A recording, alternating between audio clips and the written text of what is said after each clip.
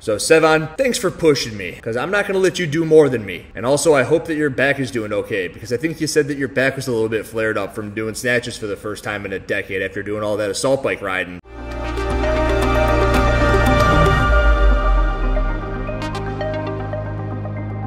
Yo, I was watching something earlier today.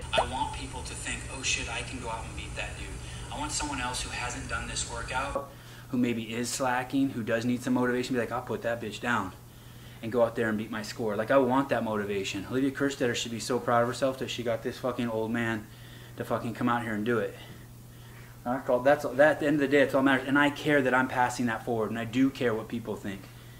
Not that they think that I suck, but that they think that that they got a thought that they could beat me or or that they want to beat me or that they can do it and then they just go out and do it. So this morning, I was driving to my client's house and I saw that Sevan put up one of the videos that looked like a vlog that he's doing. And I saw that he was going to do the age group online qualifier workout number three, which is all those snatches. The other day on his podcast talking about the Masters, I believe James Hobart and Brian Friend were on the call. They brought up the fact that Olivia Kerstetter had done 80 repetitions in this workout. It was three rounds of 10 snatches to buy in at ascending weights, followed by an AMRAP at that fourth bar for the remainder of the 10 minutes. 10 reps, minute break, 10 reps, minute break, 10 reps, minute break, and then AMRAP with the final bar. Sevan was challenged to do this. He's brought up a couple of times about how he's completely debilitated from it. And I was thinking during this that Olivia Kerstetter almost did double Isabel at the male weight at the end of that workout. Now, last year, I did the semifinals for the Atlas Games in the garage, standing right over there. I did them with the weights of 135, 185, 225, and 245. 245, I believe that I got nine repetitions last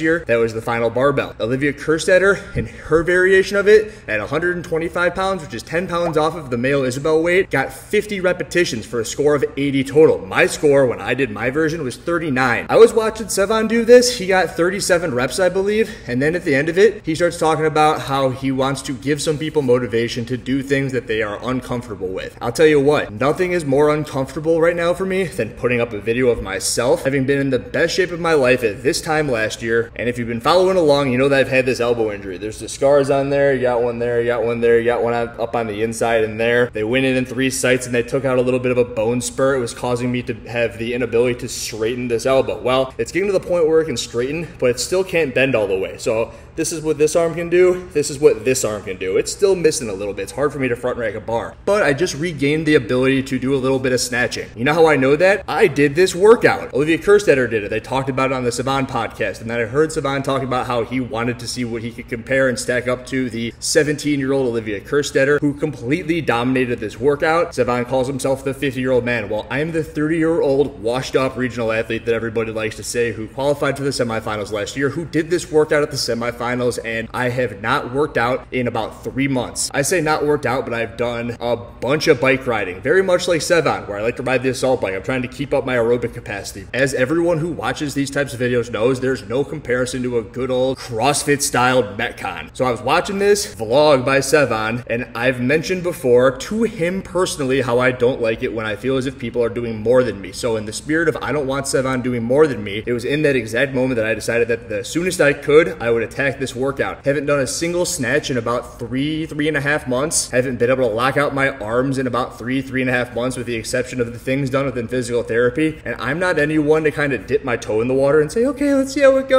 I want to get full on into it. So I'm going to go ahead and see how many snatches I can get. 16 to 17 year old division of the age group online qualifier for the semifinals directly into the CrossFit games. I'm going to do a little bit of a play over it for you guys so you can see what's going on. And let's see how I stack up against Sevan and Olivia Kerstetter. Let's go. So the first thing you do, of course, is show your weight. So you can see there's a 15 on the bar with a clip. You can clearly see that that is a 20 kilogram barbell, so a 45 pound bar, 15 pound plate, 10 pound plate, and a 5 pound plate right there.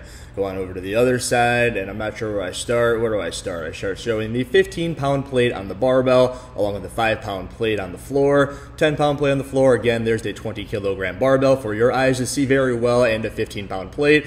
Here's the tape measure showing the start line where it is at zero. I used a piece. Of, I used a chalk show the entire tape measure, and then I have the other end of my handstand hold box marked off with the five foot increment that is required for you to start behind at the beginning of each round. Bring it on over, and I believe somewhere in here I talk about the workout, what my name is, and the age group and division that I am in completing this workout for. Andrew Hiller doing the age group online qualifier for the 16 to 17 year old female division.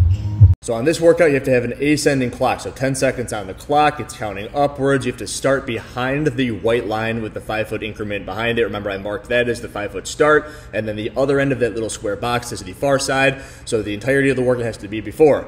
It is 10 snatches. This is the 75 pound barbell, 45 pound bar with the 15 pound weights on it. This is where I was a little bit sketched out. I don't know what my elbow looked like. I did take a couple of shots beforehand. Alexis wasn't home. I would have asked her to judge but it's just me in the garage.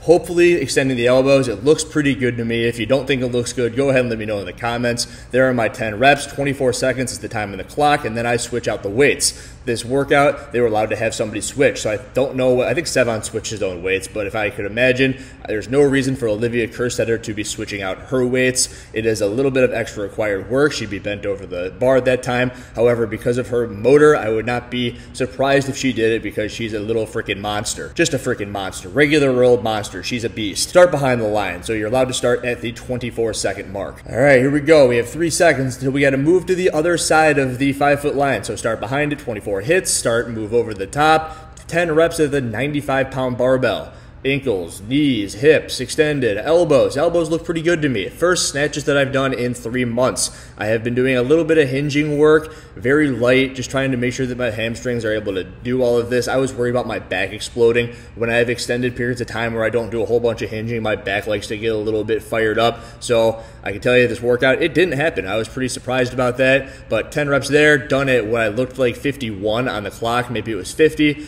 And then we have the blue plates which go on. And so I do that. Olivia, again, she didn't have to do that. Sevan, I believe, did it, but we're going to 105. On the clock, the 51 strikes. I started what looks like 52 just to be sure. Didn't have a judge, remember. Going to do the 10 reps at 105 pounds.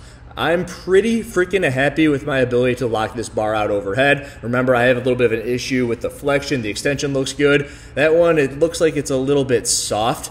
It's not a qualifier. I'm trying to do the best that I can right here. And for the most part, I think that I'm doing pretty freaking good.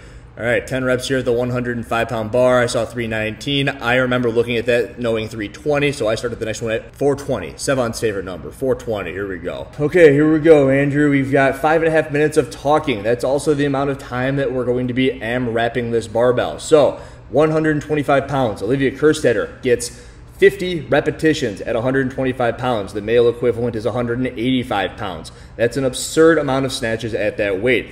I was afraid whether or not I'd be able to get that number of snatches at this weight with what I've been working with, which again, if I remind you, I haven't done a CrossFit style workout in three months. Call me to me. Haven't done CrossFit in three months, so I can just say that I haven't worked out in three months.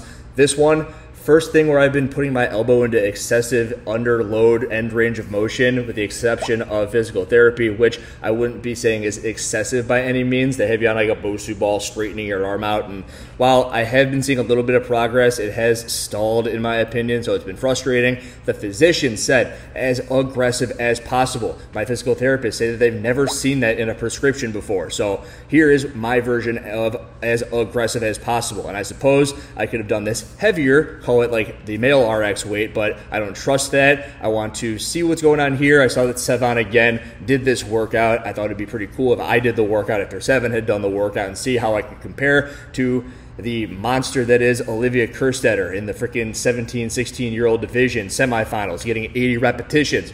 I was shooting to get the 50. I didn't know how many I could do. I just wanted to keep moving at a consistent pace and again, do something that would be cool, productive for my life and not let Sevan do more work than me. I have done Isabel before. I've never done double Isabel before, so this is the most consecutive snatches that I've done in something around this weight. I've never moved a 125 pound bar for rep after rep because it's a weird number. I have moved 135 for sets of 30, sets of 40, but I don't think I've ever done anything over sets of 40. And maybe I'll do double Isabel at some point to see what that would be like when I feel more comfortable with my body. But my Isabel time is 59 seconds. These are a little bit more deliberate repetitions where I wanted to make sure that I wasn't going to blow my elbow out.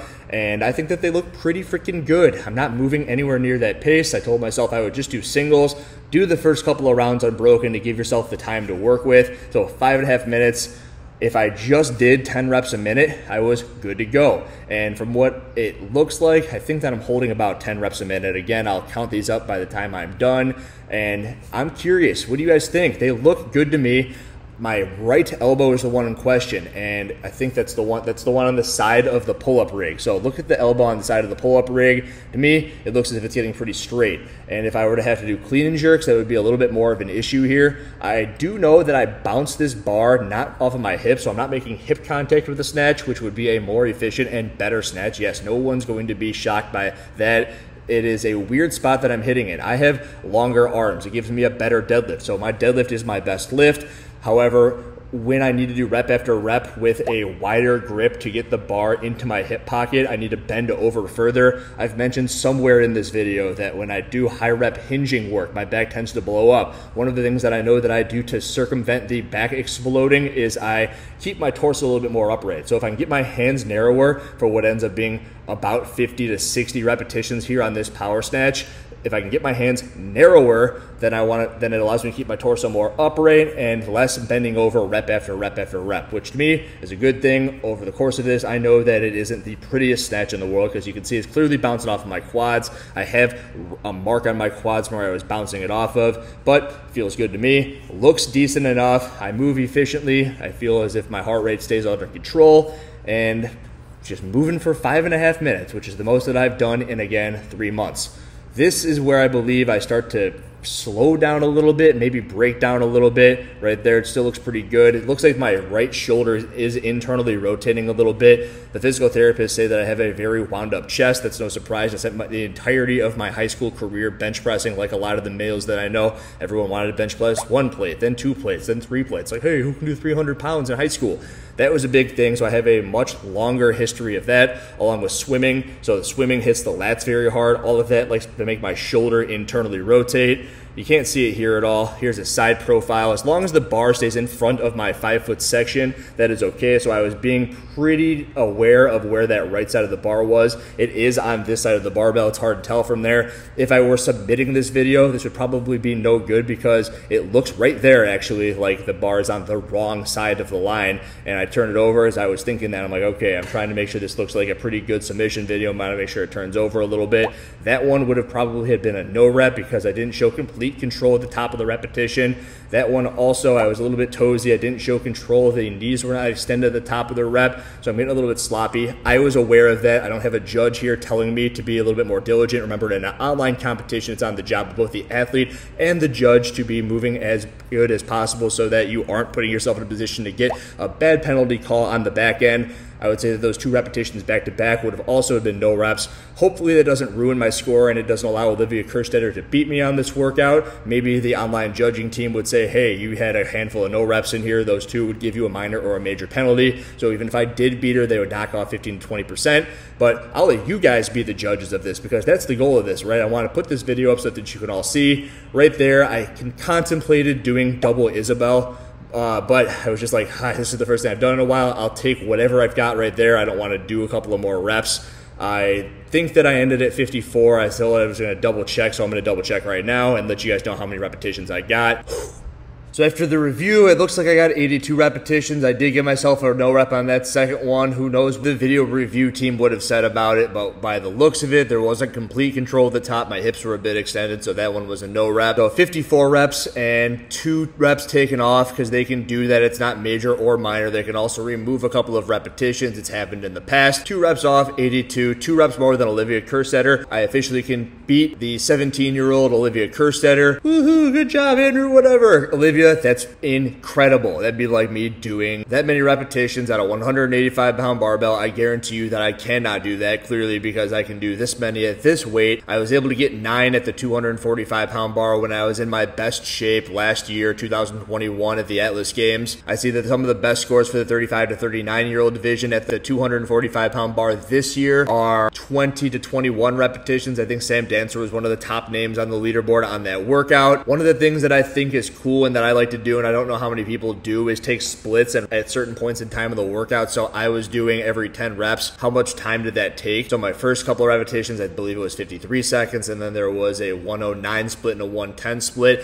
And then one of the things I always say in my program is you should try to go faster on the back end. After one of the 109 or 110 splits, the next 10 repetitions were done seven seconds faster at 103. The negative splits are very important. I see it at the top. You remember you can always see Rich Froning trying to speed up at the back end of the workout. It's something that you can ingrain into yourself as you do your training, and you always know the person who comes out way too hot and then peters out at the end. It's always better to be the person who can keep on moving, and then even better if you can move faster at the back end. It means that you paced it correctly. So although I am in the worst shape that I've been in in almost a decade due to the stupid elbow, due to the fact that I care more about the YouTube videos than I do about my fitness, fitness is still a top priority, and I do think that it's cool that the negative pacing that I've tried to ingrain into myself over the career that I have done with CrossFit still is there, and that I still have the capacity to get a handful of reps at something close to the Isabel weight. It'll be interesting to see what happens with me and my body over the course of the time that I can like introduce these movements back in. The big takeaway from this whole thing is, of course, Sevan did this workout. He wanted to motivate somebody to do the workout. He motivated me to do it. I was in my car and I was like, I am going to do that the first second that I have a chance to do it. Olivia Kerstetter put up some ungodly awesome score to the point where I looked at it and I was second guessing whether or not I'd be able to even get close to that score. It was scary. I remember I was getting into that. I go, here we go, 50 reps at 125. I have no idea what that's going to feel like. I haven't put a bar over my head in 90 days. What's the fitness left in this freaking tank, Andrew? And that's one of the cool things about CrossFit in general. Everybody has like their things that they're reaching for, shooting for, and the things that scare them that make them do better. Maybe just like Sevan, seeing the score of Olivia Kerstetter and, ask, and having somebody ask him to do the workout, then doing it, then making a video. Now I'm making a video. Maybe somebody will do it, and we can just call it this the Kerstetter challenge. How many repetitions can you get with the 125 pound barbell? I would bet somebody like Justin Medeiros maybe gets 80, maybe 90 repetitions. 90 would be triple Isabel in what would end up being probably a six minute window. So we can do Isabel every two minutes for the remainder of that workout. I don't put it past some of the games athletes to be able to do that sort of thing. Call it the Kerstetter challenge if you want. So Sevan, thanks for pushing me because I'm not going to let you do more than me. And also, I hope that your back is doing okay because I think you said that your back was a little bit flared up from doing snatches for the first time in a decade after doing all that assault bike riding. Anybody does this, go ahead and tag either him or me or Olivia, and we'll just call it the Cursed Kerstetter challenge. So go do the Cursed Kerstetter challenge, which is just the semifinal workout from this year's online qualifier for the age groups CrossFit Games directly into the games. If you like this video, let me know. If you do this workout, post in the comments. Andrew Hiller out.